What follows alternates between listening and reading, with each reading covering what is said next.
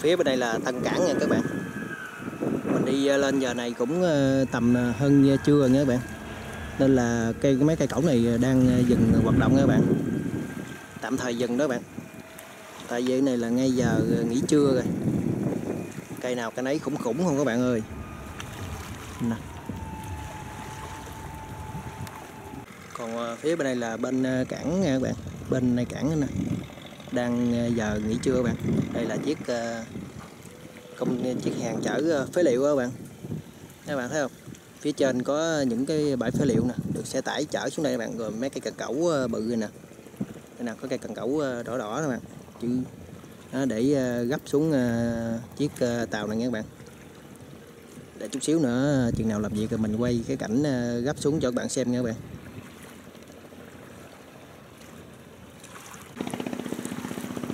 Và bây giờ là cũng à, tầm 1 giờ chiều rồi nha các bạn.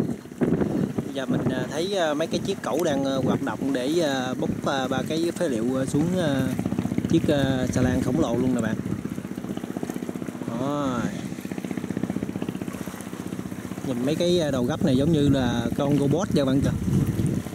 Nhìn giống như phim khoa học viễn tưởng vậy đó các bạn.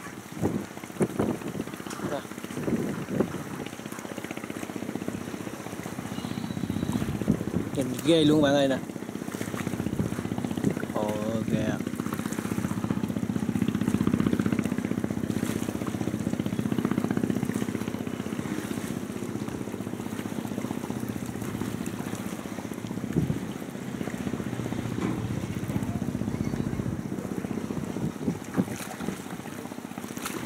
Phía trên chiếc tàu này mình thấy cũng có à, hai con cô be nữa các bạn hai con cô be gắn cái ờ, đồ để ờ, móc ba cái ờ, phế liệu cho nó dễ các bạn. Cái đó mình không biết kêu là là cái gì luôn nha các bạn. Các bạn nào xem mà biết cái đó là cái gì nhớ comment bên dưới cho mình biết nha các bạn. Cái này là lần đầu tiên mình thấy ở ngoài luôn các bạn. Thường thường là mình chỉ thấy trên phim ảnh với mấy cái youtuber khác quay thôi nha các bạn. Bữa nay là mình trực tiếp đi ra cảng nữa các bạn. Mình thấy nè mình quay mình chia sẻ lại cho các bạn ờ, xem nha các bạn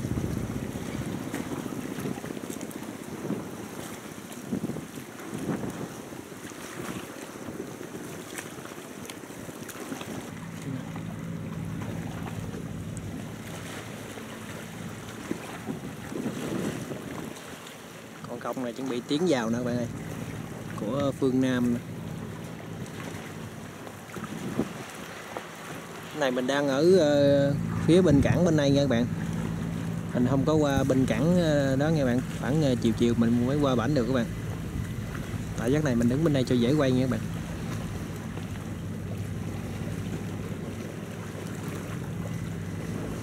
Wow, cái gì vậy? Ừ.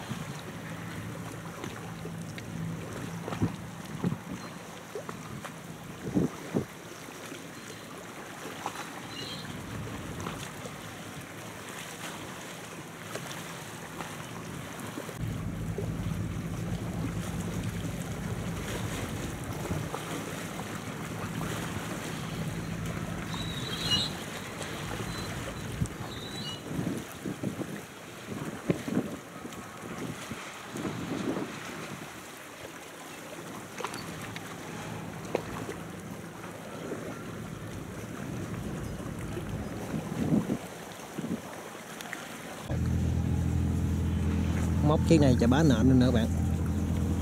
Một đống sắt luôn nè.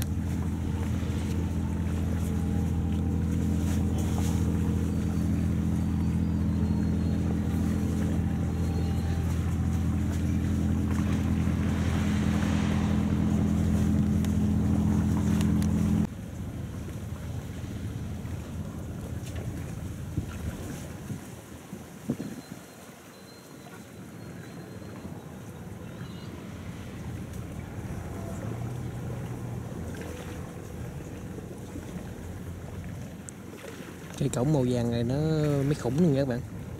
Nhưng mà cái trọng tải nó khoảng cỡ ờ, 4 50 tấn nha các bạn. Mình ờ, theo mình được biết thôi nha các bạn. Chứ mình cũng không ờ, biết chính xác nha các bạn.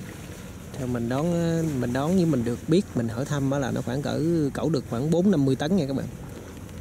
Cái cẩu màu vàng to này nè. Hai cây, mình thấy có hai cây này các bạn.